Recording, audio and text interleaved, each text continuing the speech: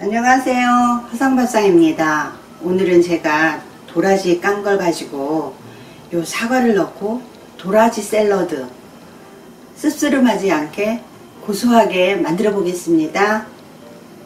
사과 반 개에 도라지 두 뿌리.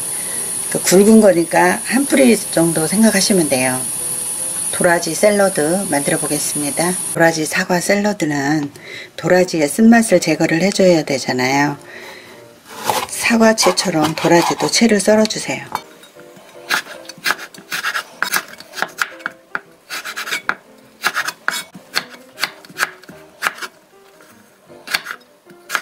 도라지 쓴맛을 제거를 해줘야 되잖아요.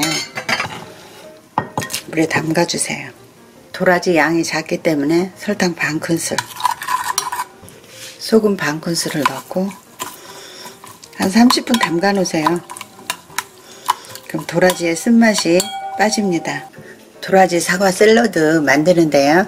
소스를 만들어서 제가 무침을 할 건데요. 플레인 요구르트 하나 하시고 마요네즈 한 큰술 넣으세요. 꿀 한 큰술 넣습니다. 제가 담아 놓은 레몬즙 한 큰술 넣어주세요. 들깨가루 두 큰술 넣습니다. 풀어주세요.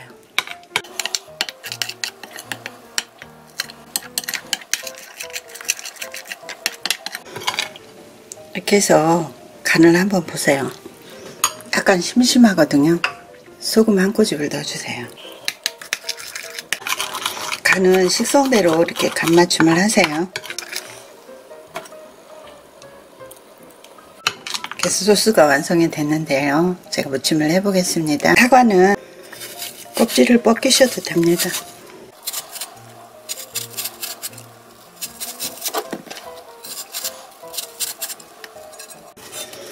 도라지 굵기하고 같이 채를 썰어주세요.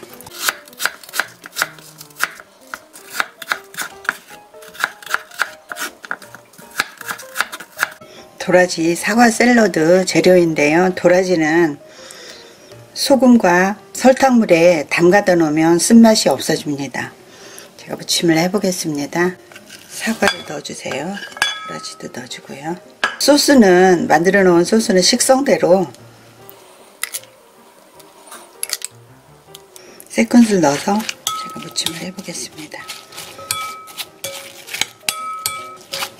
아이들 도라지 먹이는 법이거든요.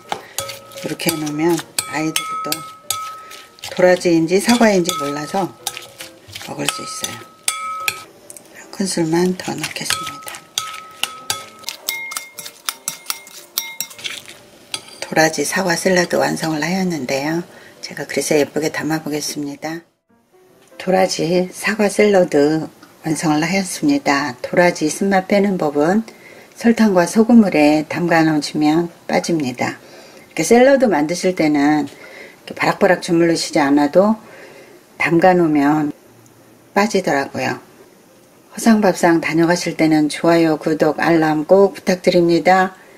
시청해 주셔서 감사합니다. 행복하시고 건강하세요.